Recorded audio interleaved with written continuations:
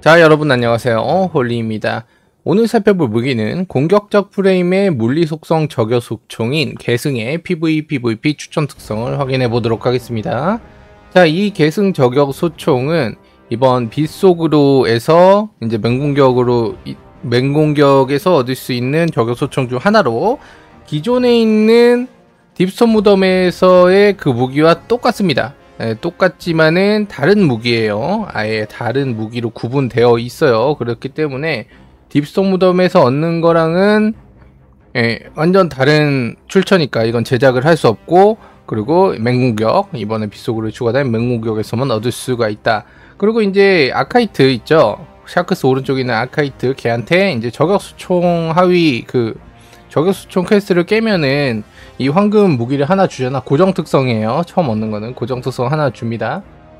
그 이후에는 이제 획득하는 거, 맹공격에서 획득하거나 상자에서 획득할 때 랜덤으로 저런 속성이 나온다는 거, 아니 속성이 아니라 색상이 나온다는 것만 알고 계시면 됩니다. 무작위예요. 그리고 아카이트 퀘스트를 완료하고 나서 조율을 하면은 샤크스가 이제 이 무기를 딱 들고 있는 거에 조율하면은 그 해당 무기의 샤크스 동상에 홀로그램인지 동상인지 아무튼 거기에 하얀색 아지랑이가 일, 일어나. 그러면은 맹공격이든 어디든 이 그 용맹 무기를 얻는 어, 출처에서는 요거 나올 확률이 엄청 높습니다. 엄청 높아요. 그렇기 때문에 조율을 꼭 하고 얻으셔야 합니다. 예, 그래서 마지막으로 얘기하고 싶은 거는 딥스톤 무덤 무기와 이 무기는 전혀 다른 무기고 예, 출처도 다르고 제작도 안됩니다. 이거는 딥스톤 무덤은 이미 제작을 하셨겠죠?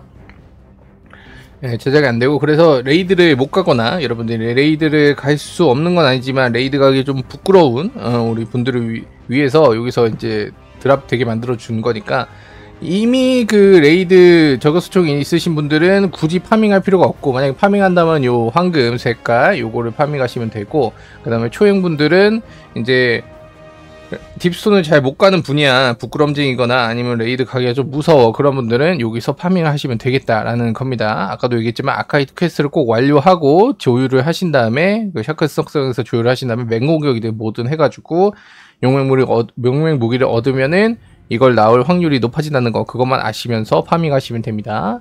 자, 이 무기의 특징점은 자, 딥스톤 무덤에 있는 거와 똑같습니다. 거의. 그러니까 조금만 달라요. 3, 예, 4번 특성이 조금만 다르고 나머지는 거의 다 똑같아. 그래서 제가 아까도 얘기했지만은 이미 기존에 딥스톤 무덤 저격 소총을 그 제작으로 갖고 계시는 분들은 굳이 파밍할 필요가 없어요.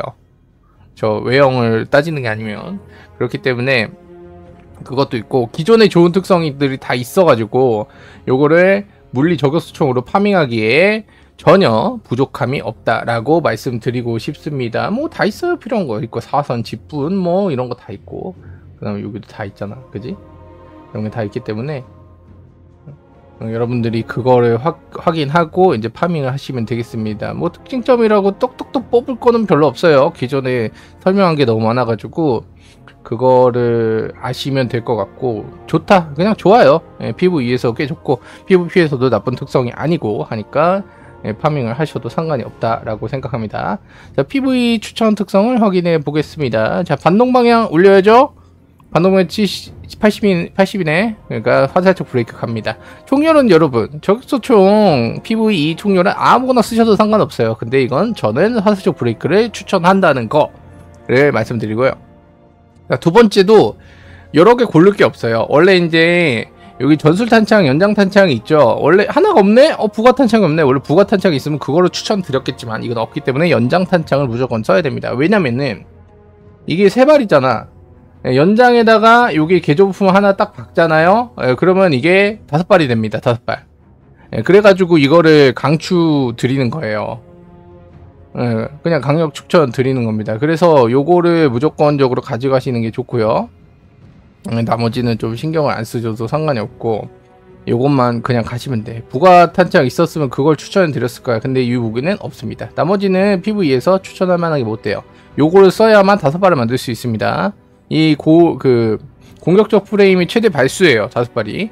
그 다음에 이제 세 번째 같은 경우에는 여긴 재구성을 그냥 넣으시면 됩니다. 예, 재구성을 넣으시면 되고 다른 거는 이제 황금 탄약. 황금 탄약일 경우에는 이제 보스 딜이 아니라 그 정예 처치용으로 쓰시는 게 좋아요. 이걸로 잡졸을 쓰는 거는 말도 안 되는 거고 정예 처치용이라면 상관이 없어. 황금 탄약도.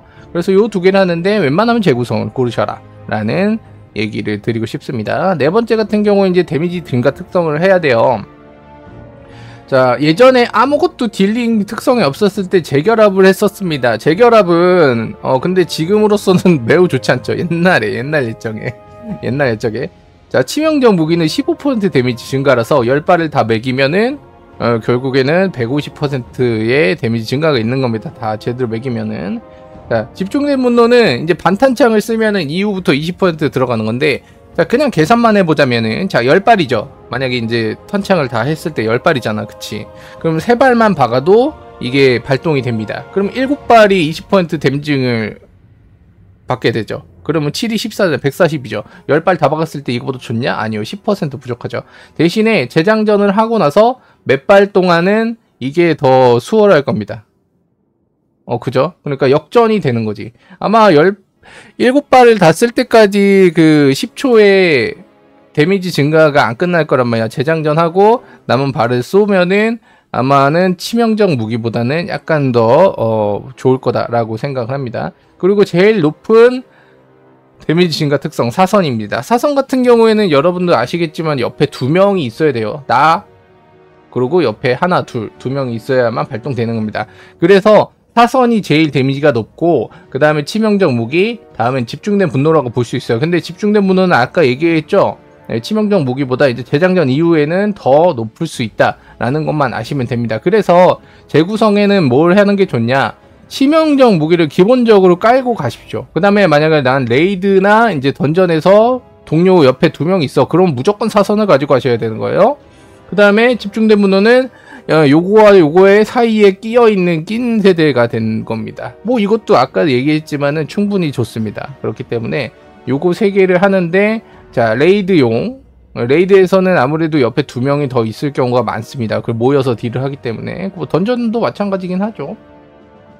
그 다음에 이제 치명적 무기는 너무 좋아 올라운드예요. 네, 특탄은 15% 댐증이기 때문에 그 다음에 집중된 분은 약간 낀 세대 그렇지만 이것도 나쁘지 않다. 이거 대신 써도 상관없어. 그래서 요 세 개를 추천드린다. 이거는 옛날에 쓰던 거라서 꺼져. 예, 이건 필요가 없어요. 아무튼 그래서 요거 셋 중에 하나를 쓰시면 되고 방금 전에 얘기했듯이 그렇게 가시면 됩니다. 그리고 걸작 같은 경우에는 다른 걸 굳이 챙길 필요가 없어. 요거로 마이너스 되는 재장전 속도를 그나마 예, 커버해줘야 되니까 걸작은 재장전 가시면 됩니다. 마지막으로 정리하자면 화살촉 브레이크, 그 다음에 여기 연장 탄차, 여기는 다른 거 쓰지 말라고 그, 말씀드렸습니다. 세 번째는 재구성, 그냥 재구성 가세요. 뭐 황금 탄약은 제가 잡절 그 잡절 아니라 그 정해 처리용으로 쓰실 때 좋다고 들었음 아, 말씀드렸습니다. 그다음에 재구성 기본으로 가져가시고 세 번째는 치명적 무기 집중된 분노 사선 가져가시면 됩니다. 사선은 제일 데미지 증가량이 높고 그 다음에 이제 옆에 두 명이 있어야 되니까 레이드 던전 같은 데 쓰시면 되고 치명적 무기는 그냥 올라운드. 아무 때나 좋고요. 조건이 별로 없기 때문에 그 다음에 집중된 분노는 요거 대신 써도 상관이 없다. 라고 보시면 됩니다. 걸작은 재장전 가십시오. 자 그리고 PVP 쪽 보겠습니다. PVP는 이제 사거리를 올리거나 그 조작성을 올리거나 하시면 됩니다. 네, 사거리 올리거나 조작성. 저는 이제 조작성 쪽으로 갈게요 그래서 여기는 새로운 총열 아니면 화살촉 브레이크를 갈 건데 전 새로운 총열을 좀 더 추천드리고 그 다음에 여기는 예, 조작성 있죠? 예, 조작성. 요거까지 올리면 55가 됐네. 이걸 왜 올리냐면은 여기 이제 뭐 여러 가지가 있잖아. 스냅샷 조준공을 쓰기 위해서요. 그리고 두 번째 같은 경우에는 다른 걸 쓸 필요가 없어요. 그냥 정밀 조준 탄약으로 사거리를 올리십시오.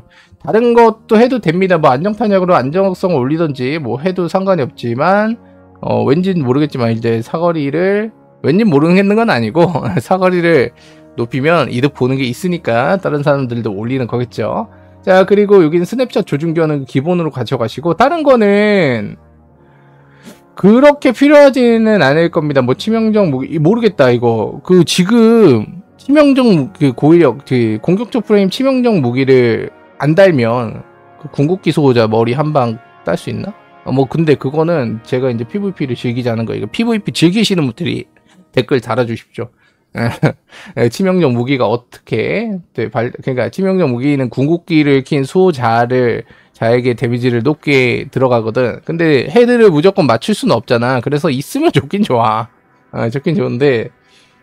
근데 아무래도 이제 이게 없을 때 헤드가 안 되면은 궁극기 헤드가 안 되면은 이걸 꼭 써야 되거든. 예, 예전에는 제가 이제 뭐뭐 있는지 알았지만 요즘에는 뭐 잘 쓰지를 않으니까 네, 그걸 좀 알려주시면 좋겠고요. 그 다음에 나머지는 뭐 없습니다. 이 차분한 심호흡을 쓸 수도 있는데, 어, 이것도 나쁘지 않거든? 그, 그, 좀 대기 타는 저격일 경우엔 나쁘지 않, 않은 거지, 이제 막 좋다고는 예, 볼 수가 없습니다. 아무튼. 네, 데미지도 올라가기 때문에. 그래가지고, 여기 쓸만한 거는 일단 util 특성은 스냅샷 적용형, 그 다음에 데미지 증가 특성은 치명적 무기나 차분한 심호흡 가시면 됩니다. 근데 데미지 증가 특성이라고 보기에는 뭐한 게, 어차피 데미지 증가는 필요가 없기도 하고요. 무슨 소리인지 아시죠? 예, 궁극기 킨 수호자를 한방 컷 하기 위해서 쓰는 거기 때문에 요거는 이제 PVP 하시는 분들이 좀 댓글을 달아주셨으면 좋겠습니다. 자, 세 번째 같은 경우에는 이제 이동 표적 가져가시면 되고, 그 다음에 이제 아까 대기샷 하시는 분들은 집중도 좀 괜찮습니다. 앉아서 샷 하시는 분들은 단단한 뒷발이 좋은데, 이럴 경우는 별로 없어요. 그래서 저는 2표나 집중 2표를 제일 추천드립니다. 자, 여기까지 살펴봤습니다. 그냥 뭐 괜찮은 저격 소총이에요. 딥소문도 못 가신다면 요걸 파밍하시는 게 좋다고 보입니다. 그렇게 설명할 게 많이 없었고 여기까지 하겠습니다. 다음 영상으로 뵙도록 하죠. 바이바이.